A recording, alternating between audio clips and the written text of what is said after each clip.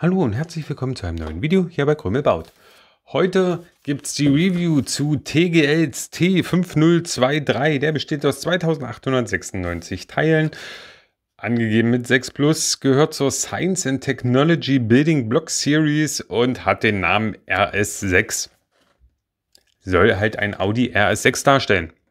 Und ja, es ist ein Technikmodell im Maßstab von 1 zu 10. Kurz Anleitung. Ähm, zum einen, also es gibt noch Sticker. Zwei Bögen sind es eigentlich. Einer ist bei mir abhandengekommen. Ich habe beim Auspacken nicht darauf äh, aufgepasst, ob er mir rausgefallen ist. Ich habe ihn jedenfalls jetzt nicht wiedergefunden. Kann sein, dass er nicht dabei war. Dementsprechend, es sind zwei Bögen. Einmal ist es der und dann nochmal so Kleinkram. Ich zeige es euch mal hier.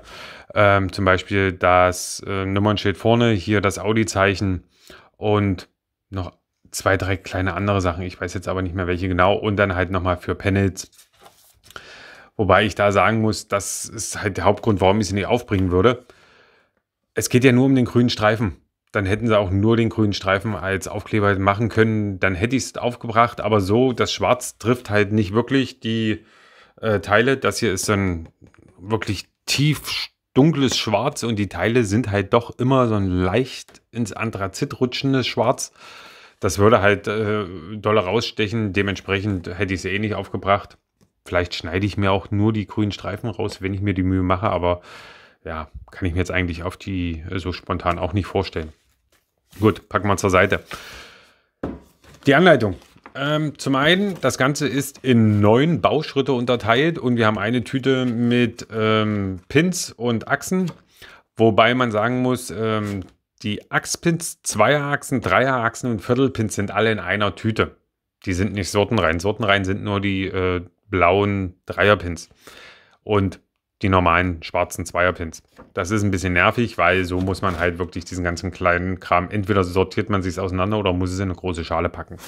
Und dann haben wir halt noch neun Bauschritte bei nicht mal 3000 Teilen. Das heißt, gut 300 Teile äh, pro Bauschritt ja, hat Vor- und Nachteile. Ich finde es gar nicht so schlecht, wenn man so ein, ich sag mal, durchschnittlicher Bauer ist. Der baut den wahrscheinlich nicht an einem oder zwei Abenden, sondern lässt sich da ein bisschen Zeit. Dann kann er sich das einteilen, ein, zwei Bauschritte am Abend, das passt. Wenn man natürlich, äh, so wie ich, das ziemlich schnell durchbaut, nervt es, weil man ständig neue Tüten aufreißen muss. Also man kann es halt so oder so sehen. Ja, ansonsten, ihr seht hier Motoren. Ähm, ich habe ihn von äh, Jointoy zur Verfügung gestellt bekommen, um euch hier die Videos zu zeigen. Die, ähm, er bietet ihn nur als statische Version an. Da können wir auch gleich noch kurzer Werbeblock. www.jointoy.com, ein chinesischer Online-Shop, hat gute Preise, Versandzeit im Regelfall so zwischen 7 bis 14 Tagen. Aktuell für die, die es nicht mitbekommen haben, in China ist ganz groß Corona-Lockdown-Party.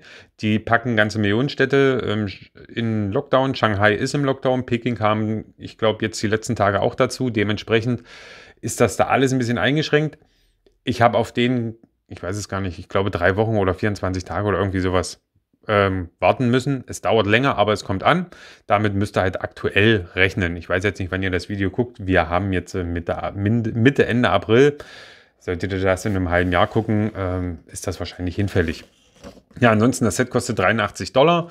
In der statischen Version, er bietet es nicht motorisiert an. Denn es gibt die Möglichkeit, das Ganze zu motorisieren und das ist in der Anleitung auch beschrieben. Dafür gibt es, wenn es um die Motorisierung geht, und das ist vor allen Dingen alles ziemlich weit am Anfang, immer diese grün unterlegten ähm, Bereiche, da geht es dann halt wirklich, hier steht, die meisten kennen das ja. Äh, RC Version Instruction, äh, Manual Version, please skip. Das heißt, wenn ihr das manuell baut, überspringt den grünen Teil, baut nur das graue. Wenn ihr es motorisieren wollt, dann baut so. Auf der anderen Seite, ich habe ihn statisch gebaut, man kann ihn auch relativ einfach am Ende nachmotorisieren. Hinten, also was die Antriebsmotoren angeht, braucht man gar nichts. Da kommen ein paar Pins rein und dann wird das festgesteckt. Vorne musste ich beim Servo zwei Teile, zwei L-Lift-Arme, hier einmal so einen kleinen und einmal einen großen L-Lift-Arm, damit ich den äh, Servo befestigen kann nachträglich. Aber, kleiner Spoiler, kauft euch keine RC-Version, sie ist es nicht wert, es funktioniert nicht richtig. So, Anleitung, wie gesagt, da ist beides beschrieben. Und alte Bauschritte sind leicht äh, ausgekraut. Also nicht komplett, sondern mehr so verblasst. Ihr seht es ja, man erkennt immer noch alles, aber es ist nicht mehr so kräftig wie das neue.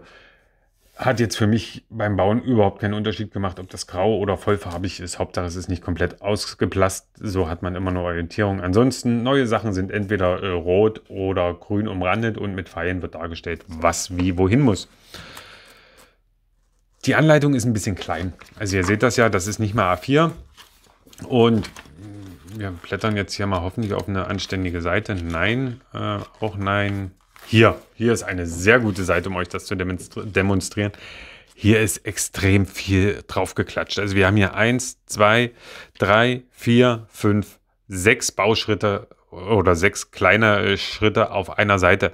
Und dann kommt es noch dazu, dass es äh, manchmal äh, 42, 43, 44 seitlich geht. Manchmal geht es aber untereinander. Da muss man echt aufpassen, dass man nicht durcheinander kommt und irgendwie falsch abbiegt da achtet wirklich immer drauf, ähm, dass er die richtigen Schritte macht. Nicht, dass ihr euch wundert, ey, da fehlt irgendwas, weil er vielleicht zur Seite gesprungen seid und unten den aus Versehen übersprungen habt. Ja, das also so zur Anleitung. Ansonsten, es ist eine klassische Anleitung. Es gibt Längenangaben. Ich habe keine Fehler gefunden. Es war immer alles relativ deutlich. Sie ist auch nicht sonderlich kompliziert. Von daher passt alles. Gut. Ähm, Teilequalität. Das ist ja TGL und bei TGL streiten sich die Geister. Ich habe noch äh, von TGL, weiß ich nicht, ob man da irgendjemand offiziell, ich kenne da keine Kanäle, um da jemanden zu kontaktieren. Dementsprechend kann ich das nicht bestätigen, aber es heißt wohl, TGL macht eigene Teile. Würde ich zustimmen. Die nehmen aber auch Moltking-Teile. Würde ich auch zustimmen. Also so ein Mischmasch. Vieles eigenes und was sie nicht haben, kaufen sie von Moltking dazu. So würde ich das jetzt sagen. Andere sagen, die haben nur ihre eigenen, andere wiederum andere sagen, die haben nur GoPrix. Von der Qualität her ist es aber wie GoPrix. Und ähm, selbst das schlechteste von GoPrix, was es gibt, nämlich diese in meinen Augen viel zu straffen Dreierpins, haben sie auch übernommen. Die sind hier nämlich auch viel zu straff.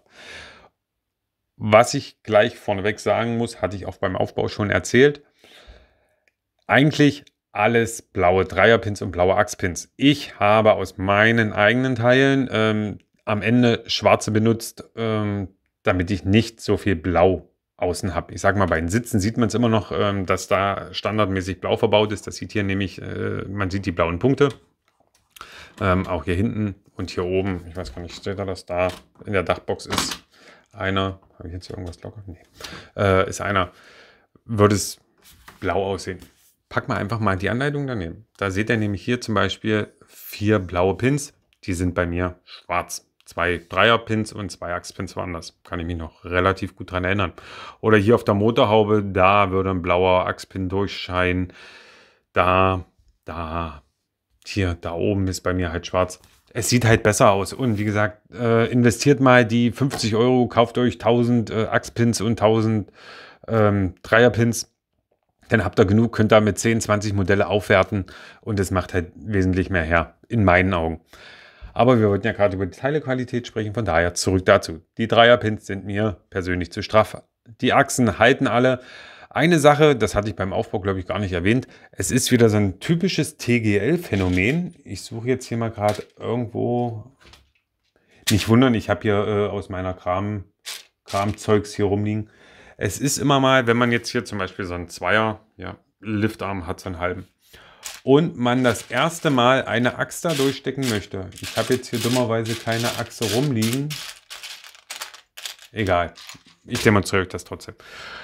Beim ersten Mal ist das, als ob da ein Widerstand ist. Da muss man einmal durch, quasi entjungfern und dann funktioniert es wunderbar. Das kommt immer und immer wieder bei verschiedensten Teilen äh, vor, wo man eine Achse durchstecken muss. Ich weiß nicht, ob die nicht innen sauber entgratet sind oder ob die Achsen irgendwie noch ähm, außen irgendwas am man sieht es nicht. Also wenn man da vorher durchguckt, die sehen alle gut aus. Aber das ist so ein komisches TGL-Phänomen. Hatte ich auch schon bei den Baufahrzeugen. Fragt mich jetzt nicht mehr nach der Nummer. Ich packe es euch mal vielleicht unten rein. Oder hier oben. Genau, ich packe hier oben einen Link rein. Hoffe ich. Äh, ansonsten guckt gerne mal in meinem Kanal. Ähm, unter TGL gibt es eine Playlist. Da findet ihr dann auch die, so ein Kipper war das. Ähm, da war das ganz schlimm, dass man das auch immer durchstecken musste und es dann richtig funktioniert hat ja, das wäre jetzt so ein Manko mit diesen Teilen. Aber ansonsten, ähm, es hat nichts gefehlt, es war nichts Kaputtes drin. Ähm, wir haben ein paar hier Transclear-Sachen, die man nicht unbedingt überall in Transclear sieht, sondern äh, dann werden sie vielleicht weiß oder sowas hier bei den Leuchten. Das ist schon nicht schlecht. Was aber, was sie halt in meinen Augen besser machen können, ist zum Beispiel die Spiegel. Das ist nur so ein Flat Silver. Also das ist so ein bisschen matt. Also klar, man, wenn man mal ganz nah rangeht, dann spiegelt der Finger. Man erkennt, dass da mein Finger äh, als Spiegel so leicht verschwommen ist. Aber das ist halt bei weitem nicht so verchromt wie die Felgen hier zum Beispiel. Andere mögen das. Das sieht aus mehr so wie gebürstetes Aluminium oder wie Aluminium. Ähm, ja, ich bin dann mehr so der, der Chromfreund. Gleiche beim Auspuff. Der ist auch mehr so in dieser Aluminium-Optik und nicht in der Chrom-Optik. Ja. Aber ansonsten Teile alles durchweg fast gut. Nur der Kotflügel hier, der hat einen kleinen Kratzer drauf. Da. Na, klappen wir mal an. Na, da vorne. Da. Ich hoffe, ihr seht Ja, das wäre jetzt so das, was man kritisieren könnte. Zum Aufbau, er lässt sich wunderbar bauen. Sehr entspannt durch die vielen äh, ähm, Teile und es sind jetzt auch keine wirklich komplizierten ähm, Bautechniken oder Stellen, wo man am liebsten fünf Hände hätte oder zehn Sachen halten muss oder sowas. Das ist ja, es ist wirklich ein angenehmes Bauen. Ja, wie gesagt, ähm, da gibt es keine Probleme. Gut, ich habe ihn noch jetzt, glaube ich, oft genug rumgedreht. Dann können wir den jetzt hier mal runternehmen und das beiseite. Und dann gucken wir uns mal die Funktionen an. Das geht relativ schnell. Er hat keine. Also er hat keine Hebel oder irgendwie sowas. Nicht wie jetzt zum Beispiel der R8. Der hat ja extrem viele Funktionen für so ein 1 zu 10 Modell. Der hat ja prinzipiell keine. Der hat vorne eine Federung. Der hat hinten eine Federung und hinten ist mir aber erst jetzt aufgefallen mit den Motoren drin. Da passiert nicht mehr viel. Ohne Motoren hat das besser funktioniert. Mit Motoren sackt er ein und kommt nicht mehr wirklich hoch. Ja, ansonsten, ähm, er hat Differentiale vorne und hinten verbaut und hat einen Allradantrieb. Aber der ist nicht durchgängig designt. Also ein Allradantrieb hat ja in der Mitte eigentlich auch nochmal ein Differential, um quasi die Vorder- und Hinterachse zu differenzieren. Der hat einfach nur einen durchgehenden Antriebsstrang. Was er aber hat, sind ziemlich viele Sachen, die man aufmachen kann, nämlich äh, vier Türen, eine Heckklappe, eine Frontklappe, die sogar einen Halter hat. So, und nochmal vom äh, Jetpack. Ähm, so, eine Klappe, die man auch aufmachen kann. Das ist für kleine Kinder extrem spaßig ich habe einen drei- und einen fünfjährigen, die äh, sitzen an dem Ding gerne und machen hier alles auf und packen ihre Playmobil-Figuren und alles rein. Und da bin ich bei dem Punkt, Motorisierung ist hier absolut Müll. Ähm, Komme ich gleich drauf zu sprechen. Hätten sie lieber eine Hand-of-God-Steuerung drauf gemacht, hätte das wirklich äh, einen Spielwert, weil ansonsten der ist ziemlich stabil. Also man kann hier anfassen, ohne dass hier was kaputt geht. Das Einzige, was passieren könnte, ist, der Spiegel fällt ab, denn der hängt nur an einer Noppe. Aber ihr seht, der ist immer noch ganz. Ne? Ich habe bestimmt zehn Modelle, da hätte ich jetzt Teile zusammengesucht, äh, um dann geguckt, wo sie hätten wieder zusammengebaut werden müssen. Also der ist hier wirklich ziemlich stabil konstruiert. Da eine Hand-auf-Gott-Steuerung rein, das wäre perfekt gewesen. Haben sie aber nicht gemacht. Sie haben sich für die äh, Motorvariante entschieden und da fangen wir am besten gleich mal mit an. Dafür ich habe hier, packt man hier mal drauf. So, motorisiert wird er mit zwei L-Motoren, die hinten ins Heck kommen und einem Servo, der hier vorne reinkommt. Und jetzt brauche ich noch eine Fernbedienung. Ich habe jetzt hier zwei Kada L-Motoren drin und eine Mold King Akkubox, die ich jetzt hier mal... Man kann die äh, Akkubox auch richtig... Hm. Jetzt habe ich das Kabel abgerissen. Wo ist A? Da. So, sieh es aber schon mal an. Mensch, man kann die richtig anbauen, wollte ich gerade sagen. Ähm, war ich aber zu faul für, weil die Motoren da nicht lange drin bleiben. Das ist jetzt nur für euch, damit ich euch das mal zeigen kann. Aber das größte Problem ist... Ne, hier. So, die Lenkung. So, da schlägt er an. Und nicht nur ein bisschen, sondern wirklich dolle man könnte jetzt sagen, okay, dann begrenzt man den äh, äh, Lenkrad, also hier den, äh, den Einschlag von der Lenkung. Das Problem ist dann nur, äh, dann hat man einen äh, Wendekreis von 5, 6 Metern. Der hat es so gerade so in meiner Küche, nee, ich glaube, der schafft gar keinen Kreis in meiner Küche, auch schon durchs Schleifen nicht. Würde ich den Lenkeinschlag jetzt auch noch ähm, begrenzen, dann bräuchte ich zweimal meine Küche nebeneinander, damit er einmal eine Runde schafft und dementsprechend macht es dann auch keinen Spaß, mit dem rumzufahren. Ansonsten, die zwei Motoren kriegen ihn relativ flott, wobei auch da die Motoren sitzen fest drin, es klackert immer mal irgendwo. Ähm, der Antriebsstrang ist jetzt nicht unbedingt perfekt designt. Also da sind viele Zahnräder ähm, und Umlenkungen. Kada kriegt das zum Beispiel wesentlich besser hin mit äh, beste Beispiel C63002, der Wings, der Sonder, nee, nicht Sonder, der Pagani Huayra BC. Ähm, der hat einen L-Motor und der hängt so ziemlich alles ab, was keinen Buggy-Motor hat. Also da ist der Antriebsstrang wirklich, äh, die Kraft geht fast ungebremst auf die Reifen und dann nach vorne. Das ist hier halt nicht der Fall. Der hat zwei Motoren und der würde nicht hinterherkommen. Ähm, da ist zu viel Reibung und alles drin. So. Das wäre jetzt halt ähm, das mit dem Lenken. Dann hätte er halt auch einen riesen Radius und dann macht es auch keinen Spaß, mit dem rumzufahren. Ansonsten, ähm, ja, von der Geschwindigkeit her würde es passen. Man, vielleicht habt ihr auch Lust, dass ihr damit unbedingt fahrt. Dann begrenzt euch das, falls ihr es hinkriegt. Ich habe jetzt nicht geguckt, ob das überhaupt machbar wäre.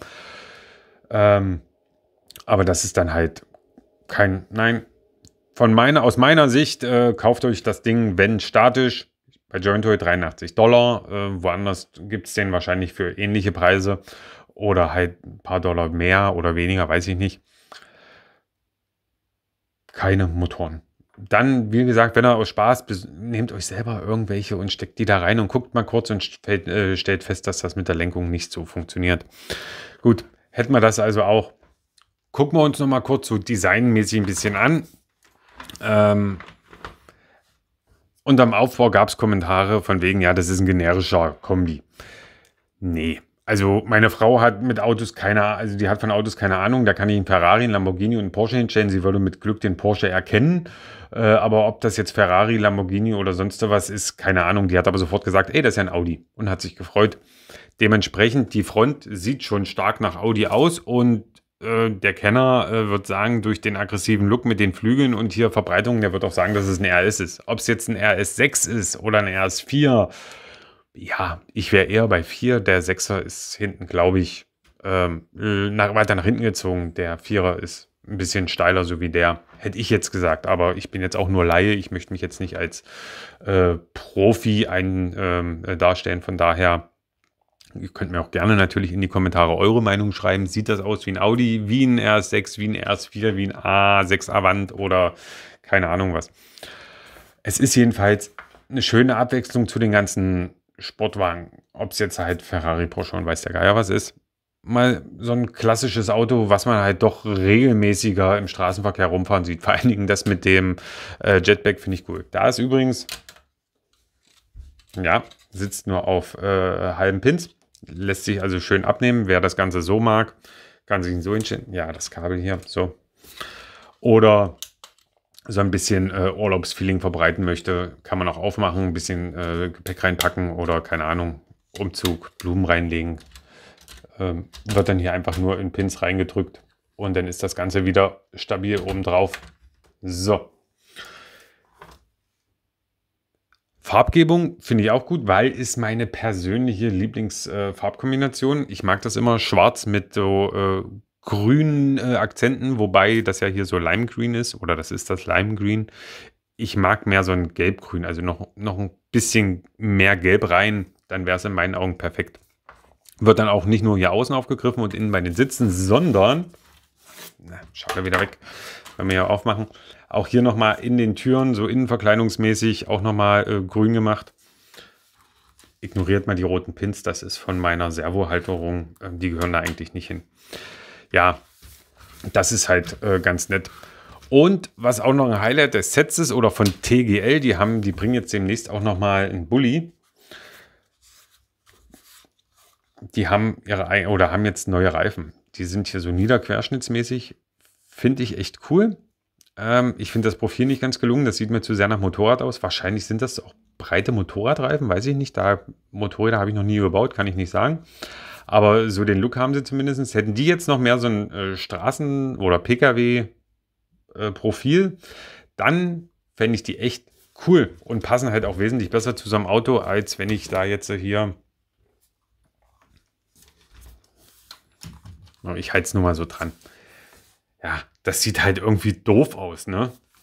Weil diese Standardreifen hier mit der hohen Kante, so fährt halt heutzutage kein Auto mehr rum.